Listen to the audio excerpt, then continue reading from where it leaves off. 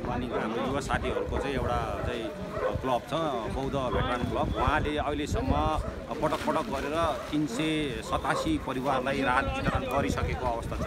र आज पनि पुनः उहाँले चाहिँ लगभग दुई सय पचास दुई सय साठी घरधुरीलाई चाहिँ राहत वितरण गरेको छ यो आजको कार्यक्रममा उहाँहरूले चाहिँ गरिरहनु भएको छ। यो उहाँहरूले आफै पनि चाहिँ साथीभाइहरूले पाँच दस हजार पाँच दस हजार उठाएर चाहिँ राहत बाँड्नुपर्छ भनेर उहाँले चाहिँ यसरी आफू आफू बिचमा उठाएर चाहिँ सुरु गर्नुभएको थियो।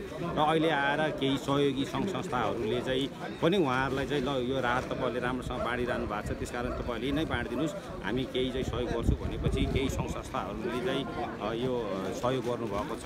त्यसमध्येमा केही सङ्घ संस्था चाहिँ जस्तो गुम्बाहरू भयो त्यस्तै गरेर कुनै चाहिँ गुठीहरू भयो त्यस्तोहरूले चाहिँ अ, राहतहरू दिइराखेको छ त्यसमध्येमा म आफैले पनि चाहिँ एउटा चाहिँ प्रदेशको प्रतिनिधि सांसद प्रति जनप्रतिनिधि भएको हैसियतले मैले पनि केही धेरै सहयोग गरेको छु। र यो अहिलेको दौरानमा यसरी सहयोग गर्ने धेरै अगाडि आइरहने भएको छ।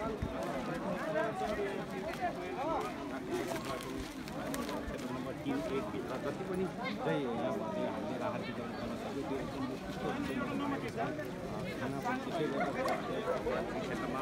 बिहान बेलुका गरेर पन्ध्र सोह्र ठाउँमा अहिले खाना खुवाइराखेको स्थिति छ र मलाई जहाँसम्म लाग्छ अहिलेको अवस्थामा हामीले रोगले भन्दा पनि भोगले चाहिँ चाहिँ मानिसहरू चाहिँ हाहाकार भइराखेको स्थिति देखेको कारणले गर्दाखेरि यसरी सम्पूर्ण जो सहयोगी संस्थाहरू हुनुहुन्छ सहयोगी चाहिँ हातहरू हुनुहुन्छ व्यक्तिगत रूपमा पनि सहयोग गर्नुभएको छ। उहाँहरू सम्पूर्णलाई म धन्यवाद दिन चाहन्छु र यो भेटरान क्लबले पनि उहाँहरूले छोटो समयमा धेरै घर परिवारलाई चाहिँ राहत वितरण गर्नुभएकोमा पनि म धन्यवाद दिन चाहन्छु र साथै तपाईँहरूको यो चाहिँ मिडियामा